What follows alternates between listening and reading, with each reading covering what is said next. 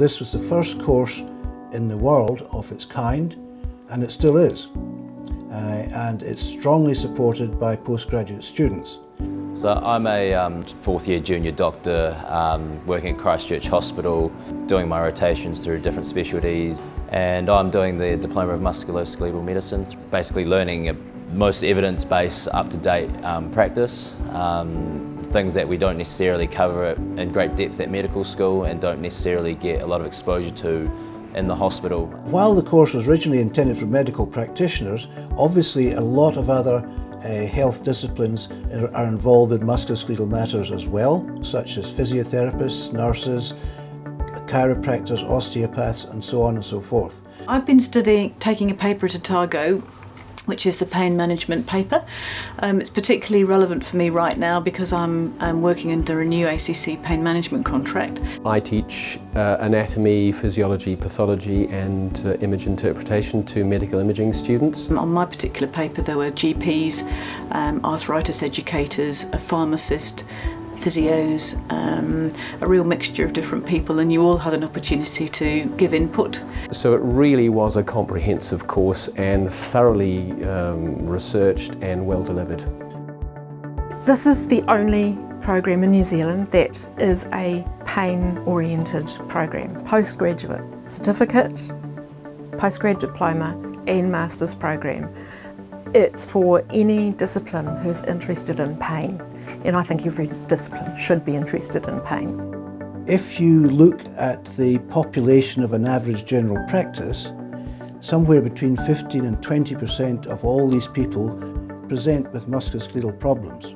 Sore backs, sore necks, sore shoulders, all these things. How, how have things been going? How, how have your pain levels been recently?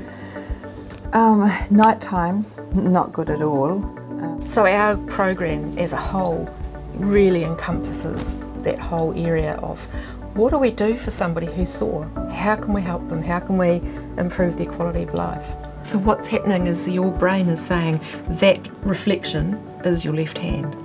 You're fooling your brain.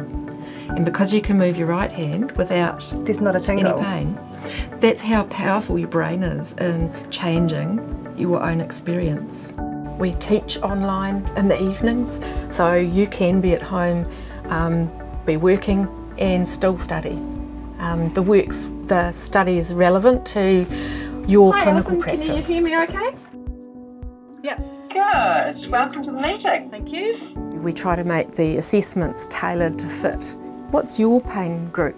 Who do you see that has pain? And how can you apply what you're learning about pain and musculoskeletal management to the people that you work with in the setting that you work with? So, um, oh, well, that's great, Bronwyn. Thank you very much. We'll catch up with you next time. Yeah. Just a couple more things. We've got your index pain today, which is 80 out of 100. Nearly everyone with a musculoskeletal problem usually has a pain problem as well. You're on gabapentin, tramadol, codeine and Panadol, is that right? People don't walk in and say, Doctor, I've got something wrong with my lumbar spine. They come in and say, I've got a sore back. So the two things, musculoskeletal medicine and pain and pain management, are closely linked in that respect. Yeah, it's been a really good course to do.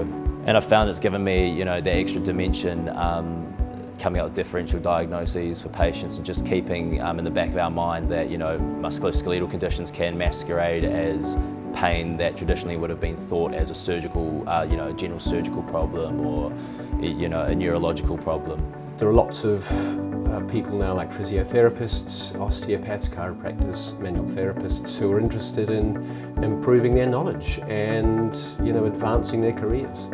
Students who come in to do our study not only want their practical clinical skills upgraded so they can handle um, a really complex group of people but they also tend to be leaders in the field. They are the ones who are going to inform policy. The other thing that's worth remembering is there is no other place in the world that you will be able to take a course like this.